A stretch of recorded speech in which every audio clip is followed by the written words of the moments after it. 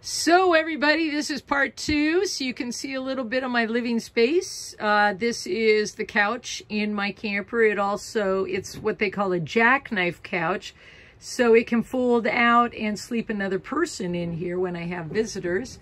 There is my gnome community. Uh, they keep me company when I'm really going rum dummy. And uh, my wonderful cowboy hat that I got at a thrift store. It's the real deal. It's beaver. And if you're familiar with uh, beaver hats, it will withstand rain and just about everything. It's the real deal. I'm going to bring it, come a little closer you can, so you can see this rancher hat. I got it at a thrift store for about 20 bucks. And I looked it up online, the brand and everything. Lo and behold, it's worth about 250 so who is not for thrift stores? And uh, there's my little doggy that is keeping me company along with Gracie, my dog pup uh, hat. And then my favorite hat to keep the sun off of me. And here is my, oh, I'll just keep it this way, my uh, entertainment center. As you can see, I've got a DVD player and radio and TV, and of course, may I zero in on this? A necessary component is my espresso machine and whisker that uh, my friend Tammy gave me so I can actually uh, whip anything that's going in there and my pods, which are very expensive. Uh, and there is uh, more of my hat collection.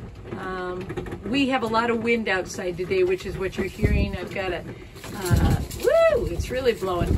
I've got a, a, skylight, which brings a lot of light in here, and my controls. Here is my refrigerator freezer, and I can actually fit quite a bit in there.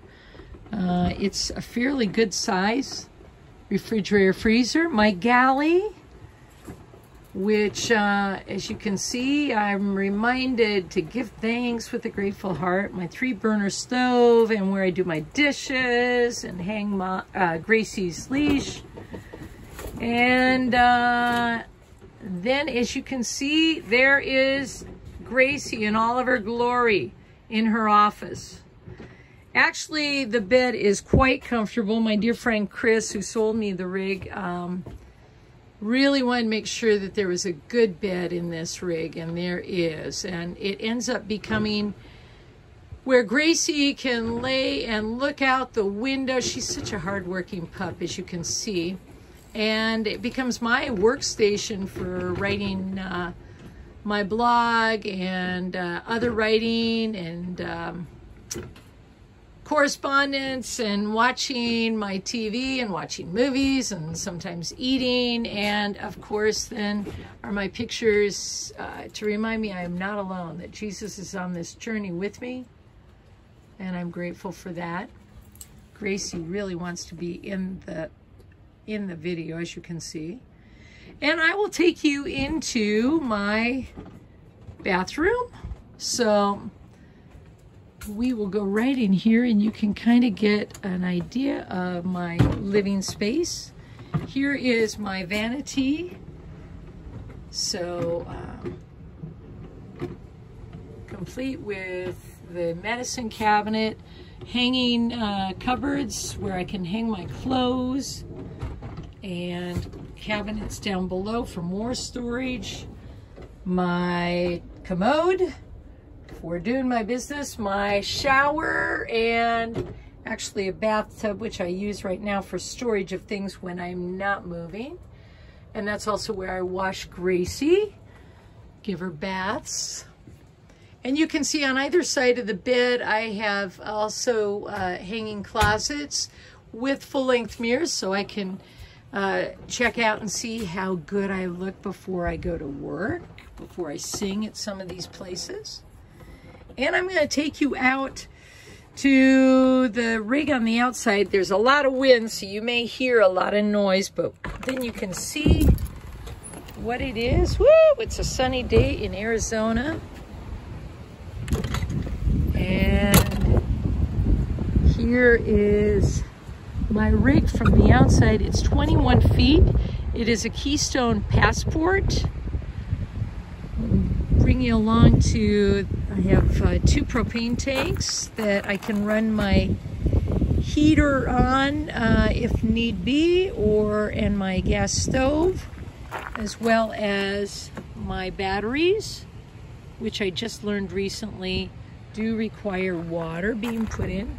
A wonderful sign that uh, Ken and Kay and Sharon and Jack helped put up before I left Littleton. I didn't realize until I was driving one day and looked in the rear view mirror and saw the sign says, where you lead, I will follow. I was thinking about me following Jesus, but it's kind of profound that my trailer also will follow wherever I lead. Good thing to know, huh? I do have a slide out, which is where my uh, living room sits, as well as my water hookup. Gracie can look out the window and see my sewage, which is a necessary part when I'm not boondocking. And of course, my infamous sign on the back that Kay, Ken, Sharon, and Jack helped me put up, The Mighty Mushers, which also advertises the book I wrote. And there is my little Gracie sitting next to Molly.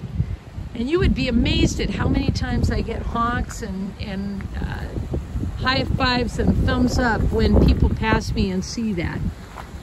And uh, I do have an awning, which I'm still trying to figure out how to put out, but today is not a good day for that with the wind. And I will close our tour with, well, you can see on my door, welcome to our home. And uh, my favorite, one of my favorite reminders is the sign on my wall. Being grateful for what we have turns what we have into enough. Remember that, everybody. Have a great day.